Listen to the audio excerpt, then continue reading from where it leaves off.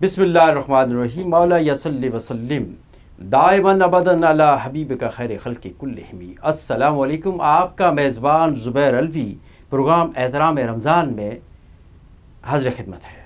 पहला रोज़ा हमने रखा और उसका अवतार भी हो गया। तो आज हम दूसरे रोज़े में मौजूद हैं। आज जिस मौजू का हमने इंतखब किया है, वो है रोज़ा और सब्र।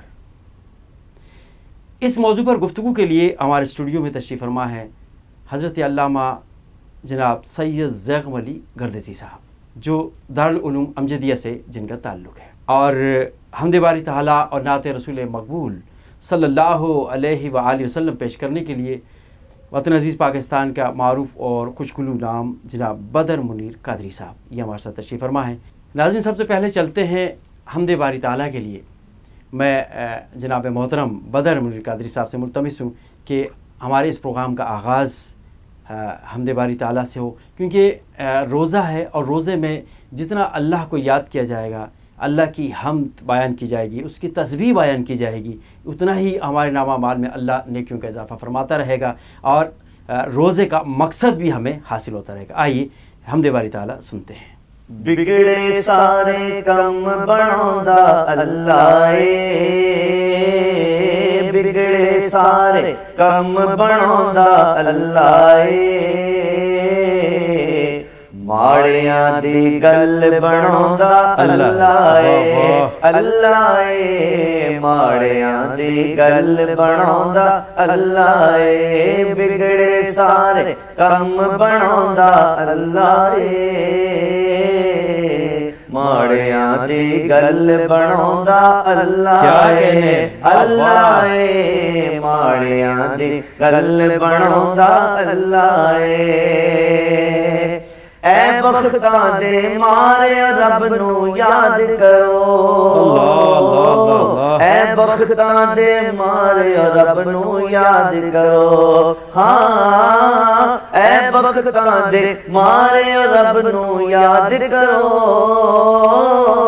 ਐ ਬਖਤਾਂ ਦੇ ਮਾਰੇ ਰੱਬ ਨੂੰ ਯਾਦ ਕਰੋ ਸੁੱਤੇ ਹੋਏ ਲੇਖ ਜਗਾਉਂਦਾ ਅੱਲਾ ਕੀ ਬਾਤ ਹੈ ਵਾਹ ਵਾਹ ਸੁੱਤੇ ਹੋਏ ਲੇਖ ਜਗਾਉਂਦਾ ਅੱਲਾ ਏ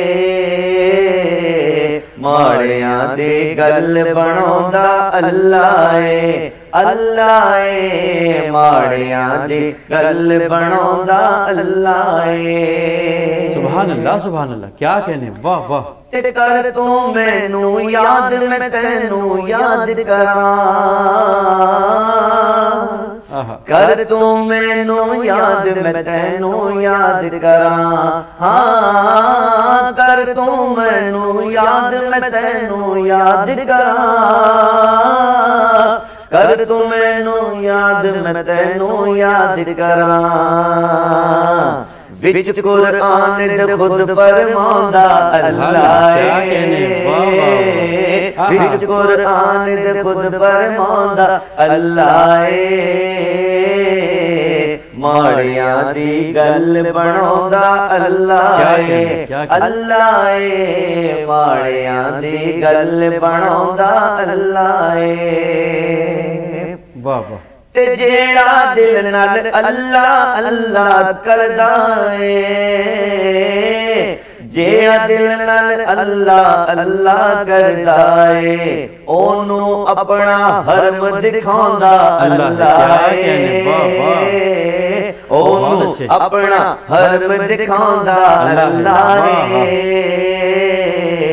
ਮਾੜਿਆਂ ਦੀ ਗੱਲ ਬਣਾਉਂਦਾ ਅੱਲਾ ਏ ਅੱਲਾ ਏ ਮਾੜਿਆਂ ਦੀ ਗੱਲ ਬਣਾਉਂਦਾ ਅੱਲਾ ਏ ਪੱਥਰ ਦੇ ਵਿੱਚ ਕੀੜਿਆਂ ਨੂੰ ਵੀ ਫਿਕਰ ਨਹੀਂ ਪੱਥਰ ਦੇ ਵਿੱਚ ਕੀੜਿਆਂ ਨੂੰ ਵੀ ਫਿਕਰ ਨਹੀਂ ਹਾਂ ਪੱਥਰ ਦੇ ਵਿੱਚ ਕੀੜਿਆਂ ਨੂੰ ਵੀ ਫਿਕਰ ਨਹੀਂ ਪੱਥਰ ਦੇ ਵਿੱਚ ਕੀੜਿਆਂ ਨੂੰ ਵੀ ਫਿਕਰ ਨਹੀਂ क्योंकि घर घर रिस्क पहुंचाता अल्लाह है क्योंकि घर घर रिस्क पहुंचाता अल्लाह है ਮਾੜਿਆਂ ਦੀ ਗੱਲ ਬਣਾਉਂਦਾ ਅੱਲਾ ਏ ਅੱਲਾ ਏ ਮਾੜਿਆਂ ਦੀ ਗੱਲ ਬਣਾਉਂਦਾ ਅੱਲਾ ਏ ਵਿਗੜੇ ਸਾਰੇ ਕੰਮ ਬਣਾਉਂਦਾ ਅੱਲਾ ਏ ਮਾੜਿਆਂ ਦੀ ਗੱਲ ਬਣਾਉਂਦਾ ਅੱਲਾ ਏ बहुत खूबसूरत अंदाज में आपने हमद बार ताली का नजराना पेश किया और अल्लाह तबारक ताली के बाबरकत नाम से आपने इस प्रोग्राम का आगाज़ फरमाया। जजाकल्ला बहुत बहुत शुक्रिया नाजरीन, हमारे साथ सैयद जगम अली गर्दजी साहब मौजूद हैं और हम अपने मौजू की जानब चलते हैं। कि रोज़ा और सब्र, इसमें क्या ऐसी ये मुनसलिक है आपस में? इसमें ऐसा लिंक क्या है कि बार बार अल्लाह ताला ने सब्र की ताकत फरमाई है और रोज़ा भी जो है कि वो सब्र हमें इसका दर्ज देता है कि रोज़ा जब रखते हैं, हमें सब्र आता है। और सब्र किन किन चीज़ों से हमें मिलता है? और क्या क्या इसमें रोज़े में हमें किन किन चीज़ों से बचना चाहिए और सब्र करना चाहिए। इस्लाम दीन फितरत है और अल्लाह तबारक ताली ने ऐसा कोई काम, ऐसा कोई हुक्म, ऐसा दिया ही नहीं जो फितर से मुतसादम हो, फितरत के मुताबिक ना हो। और रोज़ा अगर इसका हुक्म दिया है तो इसके पीछे क्या सियाक सबाक थे? और अगर सब्र का हुक्म दिया है तो इसके पीछे क्या साक सियाक सबाक हैं? आइए जानते हैं, जनाब हज़रत सैद जैक मलिक साहब। रमज़ान मुबारक के मुक़दस महीने में इस तरह के मौजूद इंतहाई मुफीद हैं और इस्लामी माशरा के हवाले से इंतहाई नफ़ा बख्श हैं। रोज़े का अगर दूसरा नाम सबर कहा जाए तो ये बेजाना होगा क्योंकि रोज़े में जितनी खसूसियात और जितनी चीज़ों की तलकिन फरमाई गई है वो सारी चीज़ें सबर में मौजूद हैं। हम्म। रोज़े की तारीफ़ यही है कि इंसान सुबह सादिक से लेकर गरूब आफ्ताब तक खाने पीने से और नफसानी ख्वाहिशात की हसूल व तकमील से अपने आप को दूर रखे। रोके रखे। तो यानी इन चीज़ों से इंसान सब्र करें कि सुबह से लेकर शाम तक उसने खाने पीने से अपने आप को बचाना है क्या बात। नफसानी ख्वाहिशात की तकमील के लिए जो भी जायज़ व नाजायज़ तरीके हैं उससे हम्म। अपने आप को रोकना है। और अपनी आँखों के ज़रिए अपने हाथों के ज़रिए अपने दीगर अज़ा के ज़रिए इंसान गुनाह के गुनाह की तरफ़ जाने से इंसान सब्र करे। हम्म। और कोई भी ऐसा काम करने से सब्र करे कि जिससे अल्लाह रब्बुल आलमीन की नाराज़गी और अल्लाह रब्बुल आलमीन की जो खुशनुदी है वो हम्म। उससे रूट जाएगी सब्र क्या है कि सब्र की तारीफ़ के इंसान की ज़िंदगी में उसके नामुआफ़िक हम्म। जो तबीयत के बरखिलाफ़ हो इस तरह के मामला उससे पेश आते हैं तो अब ऐसी जो तबीयत के और मिजाज के नामुआफ़िक हों या बरखिलाफ़ ऐसे मामला हों तो उस पर वो वाविला ना मचाए हम्म। ना शुक्री ना करे और बेसब्री का मुजाहरा न करे बल्कि ऐसे मामला को अल्लाह रब्बुल आलमीन की रज़ा समझ कर उसकी मर्ज़ी समझ कर उस पर राज़ी रहे। यानी इंसान पर अल्लाह रब्बुल आलमीन ने रोज़ा फ़र्ज़ फरमाया तो बावजूद इसके कि इंसान की तबीयत में इंसान के मिजाज में भूखा प्यासा रहना ये हम्म। नहीं शामिल। ठीक है। और इंसान इसको पसंद नहीं करता कि मैं हम्म। भूख और प्यास में पूरा दिन इस तरह गुजार दूँ। हम्म। लेकिन यहाँ अल्लाह रब्बुल आलमीन की रज़ा है तो उसने सब्र करना है। सही। और अपने आप को खाने पीने से बाज रखना है। फिर इसी तरह नफसानी ख्वाहिशात की तकमील के लिए जो जायज़ तरीके भी अल्लाह रब्बुल आलमीन ने रखे हैं तो यहाँ भी अल्लाह ने उनसे मना फरमाया और उनके हसूल से अल्लाह रब्बुल आलमीन ने बाजने का हुक्म फरमाया। तो अब इंसान अपने नफ्स पर जबर करके अपने आप पर काबू रख रखते हुए इन चीज़ों के लिए भी यानी सब्र करता है इन चीज़ों की तरफ़ नहीं भटकता तो सब्र का दूसरा नाम रोज़ा या रोज़े का दूसरा नाम सब्र कहा जाए तो ये बेजान होगा। और इसकी इतनी तलकिन फरमाई गई नबी करीम सल्लल्लाहु अलैहि वसल्लम ने रोज़े के जहाँ अफादियत को बयान फरमाया फरमाया कि रोज़ा मुआसात का नाम है, यानी आपस में एक दूसरे से गमखारी का, हमदर्दी का नाम है। रोज़ा मुआखात का नाम है, यानी एक दूसरे से भाईचारी, भाईचारगी की जाए और एक दूसरे के काम आए। फिर जहाँ आप अली सातु ने सदक़ात की या दीगर मामला की तरगीब फरमाई, वहाँ उसके साथ फरमाया कि रोज़ा सबर का नाम है। और सबर इस तौर पर कि इंसान अपने अज़ा को, अपनी जो अल्लाह रब्बुल आलमीन की मर्ज़ी और मंशा नहीं है उसके मुताबिक उसको ना इस्तेमाल करे और इनके जो दीगर इस्तेमाल हैं जो रोज़े के मुनाफी उनसे अपने आप को बाज रखे यहाँ तक आप अली साहब ने फरमाया यानी आज जो माशरे की जो हमें रमज़ान में कैफियत नज़र आती है कि सबसे ज़्यादा बेसब्री और सबसे ज़्यादा जो जल्दबाजी है और जो जब्त की एक कैफियत है वो मफकूद हो जाती है रमज़ान में सही, सही। तो ये सबसे ज़्यादा रमज़ान में हमें ये कैफियत नज़र आती है हम्म, हालाँकि हम्म। सबसे ज़्यादा ताकीद आप अली साधु साहब ने रमज़ान के मुतालिक फरमाई आप अली साधु साहब ने फरमाया कि तुम में से कोई शख्स रोज़ा रख कर इन सारी चीज़ों से बाज रहे हम्म। ख़ुद भी बाज रहे यानी ख़ुद अपने तौर पर किसी के साथ ये मामला ना करें कि किसी से लड़ाई झगड़ा है फसाद है या दीगर इस तरह के मामला हैं अगर किसी की तरफ़ से ये मुसलत करने की कोशिश की जाए हम्म। यानी कोई आप नहीं चाहते आप किसी से लड़ाई झगड़ा नहीं कर रहे फोश कलाम नहीं कर रहे बदतमीज़ी नहीं कर रहे कोई अगर आप पर ये सारी चीज़ें मुसलत करना चाहता है तो फरमाया कि तुम्हारी ये ज़िम्मेदारी है कि तुम उसी कैफियत में ना रंग उसमें रंग में ना रंग जाओ सही सही और उसी में मुबतला ना हो जाओ बल्कि उससे ये कहो कि मैं रोज़े से हूँ ये कहकर अपने आप उससे छुड़ा लो अपना पीछा छुड़ा लो। यानी उसी कैफियत में उसका जवाब ना दो। लेकिन यहाँ तो दूसरा इसका उलट है वो ये कहते हैं कि यार मैं तो रोज़े से हूँ। भाई आपने रोज़ा रखा है ठीक है रोज़ा रखा है लेकिन आप रोज़ा रख के कहते हैं मुझे रोज़े में आपने ये कह दिया मुझे रोज़े में ये कह दिया तो बजाय उसको खुद रुकने के दूसरे को इश्तियाल दिलाया जाता है। यानी हम यहाँ ये हाँ। ये तसव्वुर कर लें कि रोज़ा रख कर हमने किसी पे एहसान किया है। हम्म। यानी अगर ये सारी चीज़ें तो घर वालों का घर वालों पर रिश्तेदारों पर पड़ोसियों पर रास्ते में लोगों का पर। तंगी हमने एहसान कर दिया हमने रोज़ा रख लिया। उकताहट और तंगी तो उस वक्त आए कि हम किसी पर एहसान कर रहे हैं। हम्म। और उसकी तरफ़ से जो एहसान का एक मामला हमसे किया गया है तो हम उसको उससे अपने आप को छुड़ा रहे हैं अपने आप को पीछा उससे छुड़ा रहे हैं। तो हम किसी पे एहसान नहीं कर रहे बल्कि अल्लाह रब्बुल आलमीन की इबादत की जा रही है। और इबादत तो उसी वक्त मकबूल है कि जब उसके तकाज़ों के मुताबिक की जाए। ठीक है। अगर उसके तकाजे मफकूद हैं तो ज़ाहिर है वो रोज़ा अल्लाह रब्बुल आलमीन की बारगाह मकबूल नहीं है। और इस पर एक हदीस भी आप अलैहिस्सलाम की बड़ी मशहूर है। फरमाया कि जो रोज़ा रख कर भी फोश कलाम को लड़ाई झगड़े को और इन सारे मामलात को ना छोड़े हम्म। तो अल्लाह रब्बुल आलमीन को उसके भूखे प्यासे रहने की हाजत नहीं है। यानी उसको रोज़ा नहीं करार दिया कि उसके रोज़े की हाजत नहीं है। फरमाया कि वो भूखा प्यासा है। यानी रोज़े की जो बरक़ात हैं उसकी जो रूहानियत है उससे वो कतन दूर है। सिर्फ़ उसका भूख उसकी भूख है उसकी प्यास है उसका भूखा प्यासा रहना है। रोज़े की जो बरक़ात है, उससे वो यकसर तौर पर दूर है। क्योंकि अल्लाह रब्बुल आलमीन हमसे ये तकाजा नहीं फरमाता कि सिर्फ़ इस टाइम में आप भूख और प्यास को बर्दाश्त करें। नफ्स की इस्लाम मकसूद ना हो। सिर्फ़ एक जो एक रस्म है, एक रिवाज है, उसके मुताबिक आप इस चीज़ को इख्तियार कर लें।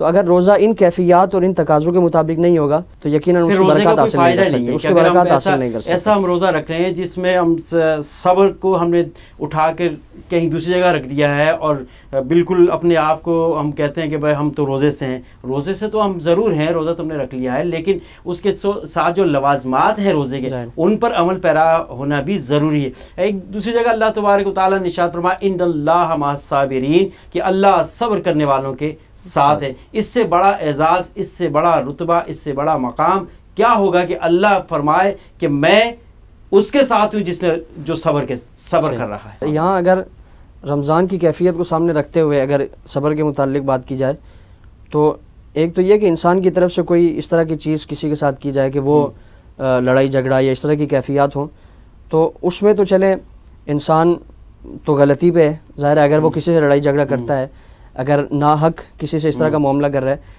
लेकिन किसी की तरफ़ से उसको मुसलत की जा रही है। अब आजमाइश का मामला ये है कि किसी की तरफ़ से आप बिल्कुल सच्चे हैं हक पर हैं और सही हैं सही रास्ते से जा रहे हैं। मिसाल के तौर पर रॉन्ग साइड से कोई ट्रैफ़िक से आ रहा है हम्म। आप उसको रोक रहे हैं। ठीक है। बावजूद इसके कि आप सही हैं लेकिन आज हमारे मुआशरे में तो इस चीज़ का बिल्कुल रिवाज नहीं है। वो आप पर आप दौड़ेगा। इस्लाह मत कीजिए। इसलाह नहीं करें। आप इसलाह की हम्म। बात करेंगे तो वो आपको हम्म। मारने के लिए और इस तरह की कैफियत आपसे। तो बावजूद इसके कि आप हक पर हैं सामने वाला आप पर कोई जुल्म कर रहा है ज़्यादती कर रहा है तो आप अल्लाह रब्बुल आलमीन की रज़ा के लिए। हम्म। ये बड़ा आजमाइश का मामला होता है कि इंसान हक पे होते हुए भी अपना हक माफ़ कर दे खामोशी से वहाँ से दामन अपना छुड़ा ले। हम्म। तो अब अल्लाह की रज़ा के लिए आपने ये अमल किया तो अब अल्लाह रब्बुल आलमीन उसको अपने पसंदीदा अफराद में शामिल फरमा लेते उससे मोहब्बत फरमाता है ठीक है। कि इसने मेरी खातिर अपने नफ्स पर जबर किया अपने नफ्स पर कंट्रोल किया और यही इंसान की एक मेराज है कि यानी बावजूद हक होने के बावजूद कुदरत भी होने के इंसान कादिर है कि मैं उस बदला ले लूँ लेकिन अल्लाह रब्बुल आलमीन की रज़ा के लिए अगर उसको माफ़ कर देता है और उसको दरगुजर कर देता है तो ये यानी अम्बिया कराम सलाम के साथ साबिरीन का दर्जा और साबिरीन का मकाम बयान फरमाएगा। यानी इतना बुलंद दर्जा अल्लाह रब्बुल आलमीन उसे अता फरमाता है। दीन हमारा चूँकि फित दीन फितरत है तो रोज़े का मकसद एक सब्र करना भी है। तो ऐसा नहीं है कि रमज़ान आया तो हमने सब्र किया। ये रमज़ान के साथ ख़ास नहीं है। हम्म। सब्र का तो तलकीन बारह महीने और पूरी ज़िंदगी हम्म। इसकी तलकीन फरमाई गई और इसके लिए अम्बिया कराम सलाम की ज़िंदगी हमारे लिए मशल रहा है हम्म, कि बावजूद इसके कि वो हद पर होते थे हम्म, अल्लाह रब्बुल आलमीन की तोहद और अपनी रिसालत की तबलीग फरमाया करते थे। दुनिया दुनियावी किसी से झगड़ा नहीं है किसी से मफादात का मामला नहीं है लेकिन इसके बावजूद भी उन पर जंग मुसलत की जाती जुल्म सितम का मुजाहरा किया जाता। तो अम्बिया कराम सब्र के ज़रिए हम्म। और बर्दाश्त के ज़रिए रवादारी के ज़रिए और उसने सलूक के ज़रिए उनसे क्या बात करी आपने तो बहुत इस, बहुत इस चीज़ के ज़रिए अल्लाह रब्बुल आलमीन जब बर्दाश्त की बात कर रहे हैं तो हमारे आका नामदार हज़रत मोहम्मद मुस्तफ़ा सल्लल्लाहु अलैहि वसल्लम से ज़्यादा सब्र किसने किया होगा? हमारी तारीख उठा के देख लीजिए कि जुल्म की जब बात आएगी तो फिर आप पर कितना जो है कि जुल्म किया गया? अहले मक्का ने क्या कुछ नहीं किया आपके साथ? फिर अहले बैत के साथ क्या कुछ नहीं हुआ? तो ये सारी सबर की दास्तानें हैं जो हमारी तारीख में मिलती। हैं। यानी एक बड़ा इंतहाई खूबसूरत वाक़ आपने बैत अथार का तस्करा फरमाया।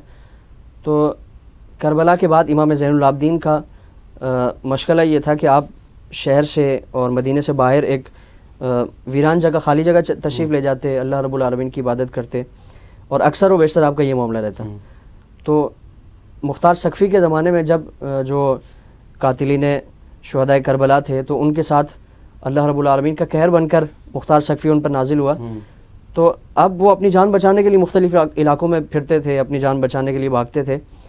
तो इमाम ज़ैनुलाब्दीन अपने हजरे में अपने जो खैमा था उसमें इबादत फरमा रहे थे। और खैमे में भी आपका मामूल था कि कुछ दिनों का तोशा लेके जाते और कुछ पानी लेके जाते और यानी हसब ज़रूरत इमाम ज़ैनुलाब्दीन जब करबला के बाद मदीना तय्यबा तशरीफ़ लाए तो उसके बाद अक्सर खलवत नशीनी हम्म, और गोशा नशीनी आपने इख्तियार फरमाई। तो एक मरतबा आप मदीना तय्यबा से बाहर खेमा लगाकर अल्लाह रब्बुल आलमीन की इबादत फरमा रहे थे तो जो ज़िम्मेदारान थे हम्म, वाक़ करबला के और यजीदी अफवाज के जो कमांडर्स थे या दीगर जो भी किरदार थे हम्म। तो अपनी जान बचाने के लिए मुख्तलिफ़ इलाकों में छुपते फिर रहे थे। तो मुख्तार सकफ़ी की फ़ौज एक बदबक के पीछे लगी हुई थी और बाज़ रिवायतों में शिमर का नाम आया और बाज़ में वो बदबक जिसने हज़रत अली असगर के सीने पर तीर चलाया था। हम्म, मासूम नन्हे हज़रत अली असगर के सीने पे। तो वो आपके खेमे में बौखलाया हुआ दाखिल हुआ हम्म, और आपसे पानी तलब किया। इंतहाई प्यास की शिद्दत थी और करीबुल मर्ग था इतनी यानी कि प्यास की शिद्दत थी। तो आपने उसको एक वो प्याला पानी का पिलाया। बावजूद इसके कि बहुत कम पानी था। फिर दूसरा मांगा आपने दूसरा पेश फरमाया तीसरा मांगा यहाँ तक कि पानी ख़त्म हो गया। सही। और जब सैराब हो गया तो अब उसने जब आपका ये उसने सलूक देखा तो आपसे कहा कि मैं आपने मुझे पहचाना नहीं है। तो आपने फरमाया कि मैंने तुझे पहचाना है तू तेरा काम हो गया तेरी हाजत पूरी हो गई तू चला जा। आप फिर वापस आपको कुरेदने लगा कि नहीं आपने पहचाना नहीं वरना ऐसा उसने सलूक का तो किसी से तवक्को नहीं की जा सकती। अल्लाह तो अल्लाह बार बार जब आपको वाह। बार बार यानी कुरेदने लगा बार बार जांचने लगा कि नहीं ऐसा हो नहीं सकता कि हाँ। कोई शख्स इतना मसायब और इतने- मामला हों उसके बाद सबर कर ले उसके बाद माफ़ कर दे उसके बाद छोड़ दे के इतने और आला दर्जे दरगुजर कर दे। तो आपने फरमाया कि तू जब बार बार स्टार्ट करने लगा आपने फरमाया कि मैं तुझे नहीं भूल सकता। मैं किसी को भी भूल जाऊँ लेकिन तुम बदबख्तों को नहीं भूल सकता। तुम वही हो कि हम तुम्हारे बुलाने पर तुम्हारे घर गए थे हम्म। तुम्हारे यहाँ गए थे और तुमने वो सलूक किया कि रहती दुनिया तक वो याद रखा जाएगा। वो जुल्म सितम का बर्ताव किया। अल्लाह अब जब उसको सारी उसकी कैफियत और असलियत सामने आ गई हम्म। तो आपसे पूछता है कि फिर आपने ये इतना उसने सलूक का और शानदार जो अच्छाई का मुजाहरा किया वो आपने वजह क्या है इसकी? आपने फरमाया कि हम तुम्हारे यहाँ मेहमान बन के गए थे। हम्म। तो, तो वो तुम्हारा ज़र्फ था तुम्हारी मेहमान नवाजी थी तुम्हारी मेहमान नवाजी तरीका था। तुम मेरे दरवाजे पे आए हो और मैंने जो तुम्हारे साथ सलूक किया ये हमारा ज़र्फ है। क्या कहने? ये आला ज़र्फ है हमारा और वाह वाह वा, हमारी मेहमान नवाजी का ये तरीका है। तो बावजूद इसके कि इतना जानी दुश्मन था आपने सबर किया आपने दरगुजर फरमा दिया। तो आज अगर कोई आ, मामूली सी तकरार हो मामूली सी एक आ, बात हो तो उस पर उसको इतना हवा न बनाया जाए और इतना क्या कहने उस क्या पर बेसब्री का मुजाहरा न किया जाए। किस पॉइंट की तरफ़ आपने इशारा कर दिया? मुआशरे की उस सुलगती अ, रग की तरफ़ आपने इशारा कर दिया जो इस वक्त हमारे मुआशरे को जिसकी अशद ज़रूरत है कि हम जो है कि किसी की ज़्यादती को बर्दाश्त ही नहीं करते। एक दफ़ा अगर आपसे मैं मुझसे कोई गलती सरजद हो जाए दिल में बात आ गई फिर पूरी ज़िंदगी वो बात जाती ही नहीं है। हमारे साथ जनाब बदर मुनीर कादरी साहब बैठे हैं।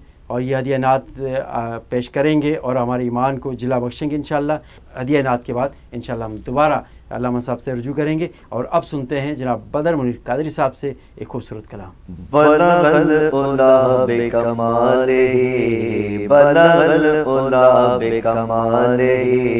कशफ दुजा बेजमाले हसनत जमीओ खिसाले सल्लो अलैहि व आलिहि सल्लो अलैहि व आलिहि वो जो चाहे चाँद को तोड़ दे, उन्हें इख्तियार दिया गया। वो जो चाहे चाँद को तोड़ दे उन्हें इख्तियार दिया गया। वो फिर उसके टुकड़ों को जोड़ दे। वो फिर उसके टुकड़ों को जोड़ दे। उन्हें इख्तियार दिया गया।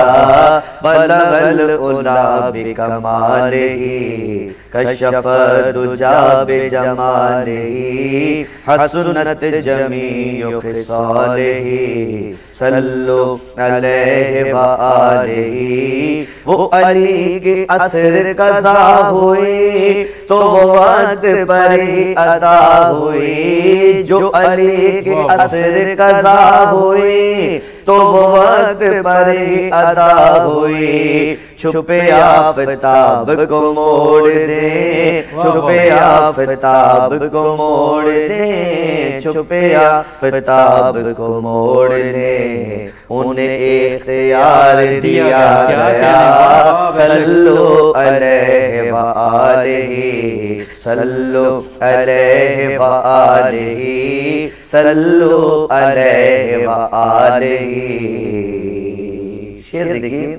दीरी आयत उनको के आए थे जो सहाबी रोज़े को तोड़ के दीरी आयत उनको जो आए थे जो सहाबी रोज़े को तोड़ के वो सजा के हद को भी मोड़ दे, वो सजा के हद को भी मोड़ दे, उन्हें इख्तियार दिया गया सल्लो अलैहि लिखूं नाज़िशुन का ये मौजज़ा कि किसी की आँख निकल गई। लिखूं नाज़िशुन का ये मौजज़ा कि किसी की आँख निकल गई। तो लो आप पाक से जोड़ दे तो लो आप पाक से जोड़ दे तो लो आप पाक से जोड़ दे। उन्हें इख्तियार दिया गया।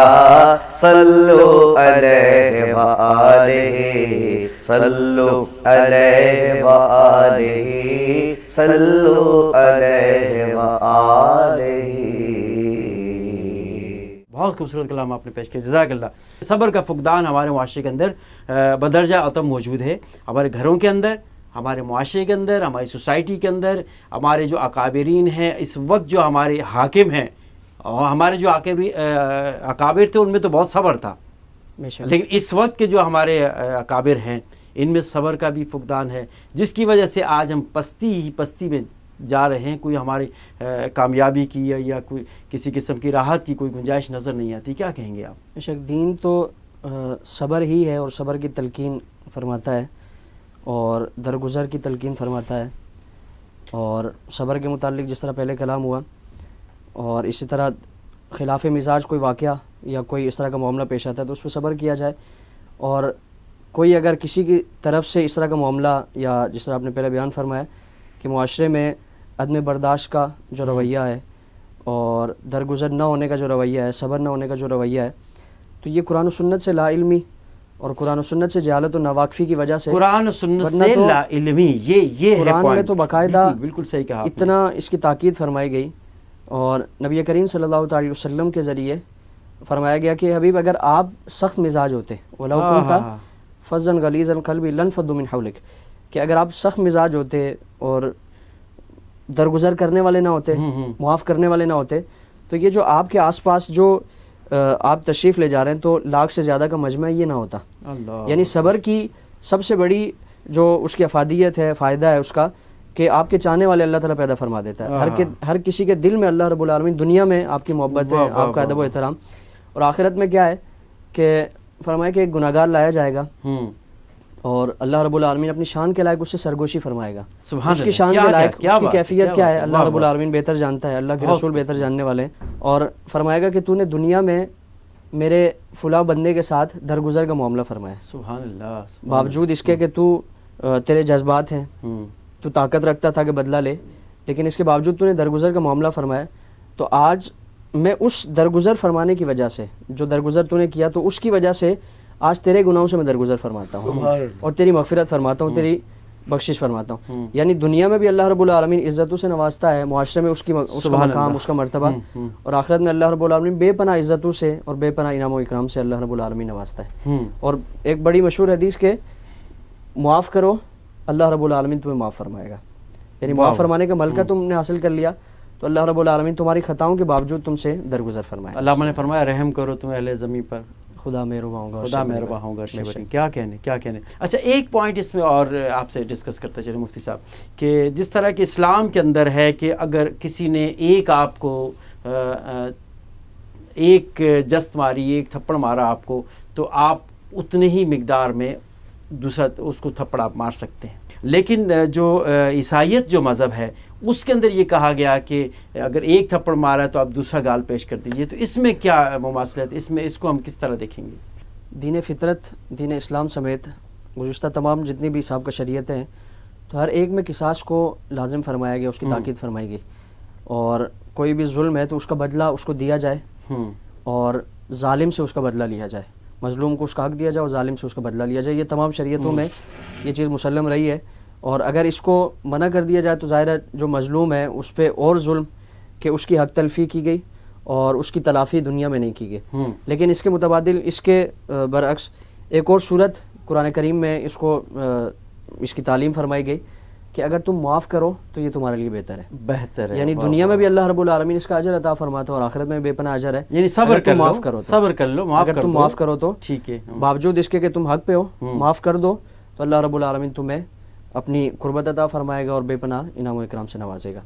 कुरान करीम में अल्लाह ने अपने नेक बंदों की और जो पसंदीदा बंदे उनकी सिफात बयान फरमाई कि वल काजमीन अलगैज़ा कि वो गुस्से को पीने वाले हैं। हम्म। यानी गुस्सा किसी गलत बात पे भी किसी की गलती पे भी आ जाए तो उसको पी लें। हम्म। और गुस्से के मुताबिक वो रिएक्ट ना करें उसको रद्द अमल के तौर पे वैसा ही मुजाहरा ना करें हम्म। बल्कि गुस्से को पी लें। वला आफीन अनिन्नास और लोगों को मुआफ़ फरमाएँ मुआफ़ कर दें। लोग कहते हैं ना मुझे गलत बात पे गुस्सा आ जाता है। भाई सही बात पे किसको गुस्सा आएगा? गुस्सा तो गलत ही बात पे आएगा और बर्दाश्त गलत बात ही करनी है। यानी गलती को गुस्से के ज़रिए सुधारना ये बड़ा मुश्किल होता है। हम्म। अब उसे तरीके से कुरान करीम में जो इसलाह के पहलू इसलाह के जो तरीके बयान फरमाए गए कि हिकमत और मवज़ हसना उदू इला सबीली रब्बी का बिल हिकमत और मवज़त हसना। हम्म। कि एक तदबीर के साथ हिकमत के साथ तरीक़ाकार से और फिर मवाज़ हसना से यानी अच्छी गुफ्तु से अच्छी नसीहतों से आप उसको इसलाह कर सकते हैं। गुस्से से ज़ाहिर है किसी गलत पर भी अगर गुस्सा करेंगे आप हम्म। किसी कोई गलती कर रहा है उसको सब सबके सामने आप झिड़क देंगे गुस्सा करेंगे तो अकड़ जाएगा हम्म। इंसान की फितरत में है सही। कि वो बागियाना मिजाज रखता है हम्म। तो अगर ऐसा मामला किसी के साथ या इसलाह का ये तरीका इख्तियार किया जाएगा तो ये इसलाह मुमकिन नहीं है मुआफ़ी के ज़रिए दरगुजर के ज़रिए या इसलाह के जो कुरान करीम ने तरीके बयान फरमाए गए हैं उनके ज़रिए अगर इसलाह की जाएगी तो यकीनन अल्लाह रब्बुल आलमीन उसमें तासीर पैदा फरमा देगा कोई दूसरा हमारे साथ ज्यादती करते हैं तो हमारी कोशिश ये होती है कि हम उससे बढ़कर उससे इंतकाम लें। यही मुआशरे का इस वक्त जो है, अलमिया है कि हम जो है कि जो जितना हमारे साथ हुआ, इतना हम नहीं चाहते। हम कहते हैं कि इसने हमारे साथ इतना किया है, हम उसके साथ इतना करके दिखाएँगे। नहीं, ये शरीयत तो सख्ती के साथ, बल्कि तफसीला ये बयान फरमा दिया गया कि अन्न नफ्स बिन नफ्स वल आइन बिल आइन वल अनफ बिल अनफ, के आँख के बदले में आँख, नाक के बदले में नाक, कान के बदले में। यानी हर एक चीज़ को अलग-अलग बयान फरमा दिया गया कि जिसने कोई जुल्म किया है कोई ज़्यादती किया तो उसके मुताबिक वैसा ही सलूक किया जाएगा उस पर इस्लामी अगर हुकूमत है हम्म। और काजी शरह है तो वो जिसके साथ जितना जुल्म हुआ है उसी के मुताबिक उसकी तलाफ़ी की जाएगी सही और उसी के मुताबिक उसको इंसाफ दिया जाएगा हम्म। सबका इस्लाम से पहले ज़माने जाहिलियत में ये था कि अगर किसी ने औरत कत्ल की है तो उसके बदले में औरत नहीं बल्कि मर्द कत्ल किया जाए हम्म। ग़ुलाम कत्ल किया किसी कबीले का तो उसके बदले में कईयों को कत्ल कर दिया जाए और एक के बदले में सैकड़ों दर्जनों कत्ल कर दिए ना जाते हो, थे। ऐसा तो ये शरीयत ने इसको एक जुल्म करार दिया हम्म। और इसका सद्देबाब फरमाया जिसके साथ जितना जुल्म है उसकी उतनी तरफी की जाए। बहुत शुक्रिया जनाब सैयद जैगम अली गर्दजी साहब। आपने बहुत खूबसूरत अंदाज में मौजू जो हमारा था आज इस प्रोग्राम का सबर उस पर आपने बहुत सैर हासिल गुफ्तु फरमाई। फिर भी कोशिश यही है हमारी। कि हम जितना अपने नाजरन को जितना इस रोज़े के मुतालिक, सबर के मुतालिक जो पैगाम दे सकें, वो कोशिश यही है कि हम दे रहे हैं। और अल्लाह तबारक व ने हर हुक्म जो दिया है, वो हमारी फितरत के मुताबिक है। और रोज़े का हुक्म दिया है कि आप रोज़ा रखिए, रोज़ा रखें तो इसमें भी अल्लाह की हमत पोशीदा है। और इसके साथ रोज़े में जिन चीज़ों से मना फरमाया है, इसमें भी अल्लाह की हमत कार फरमा है। और सब्र का हुक्म दिया है तो इसके पीछे भी बहुत बड़ा फ़लसफ़ा है। एक प्रोग्राम में इसको समेटना बहुत मुश्किल है कि सब्र हमारी पूरी ज़िंदगी पर मोहित है। सुबह सब्र है, शाम सब्र है, दिन सब्र है, लम्हा सब्र है। हर हर वक्त में हमें सब्र से काम लेना है। जब हम सब्र से काम नहीं लेंगे तो फिर हमारा मुआशा, हमारा घर, हर तरफ़ तबाही बर्बादी ही हमें नज़र आती है। कोशिश ये करें कि हर मामले में सब्र का दामन थामे रखें। अपने मेज़बान ज़ुबैर अलवी को इजाज़त दीजिए। हम इस प्रोग्राम का अख्ताम जनाब बदर मुल्क कादरी की नात पर करेंगे। खाक सूरज से अंधेरों का अजाला होगा। खाक सूरज से अंधेरों का अजाला होगा। आप आए तो मेरे घर में उजाला होगा। आप आए तो मेरे घर में उजाला होगा। खाक सूरज से। इश्क सरकार की एक शम्मा जला दो दिल में। इश्क सरकार की एक शम्मा जला लो दिल में। बाद मरने के लहद में भी उजाला होगा। बाद मरने के लहद में भी उजाला होगा। आप आए तो मेरे घर में उजाला होगा। जब भी मांगो तो वसीले से नबी के मांगो। जब भी मांगो तो वसीले से नबी के मांगो। इस वसीले से करम और दोबारा होगा। इस वसीले से करम और दोबारा होगा। आप आए।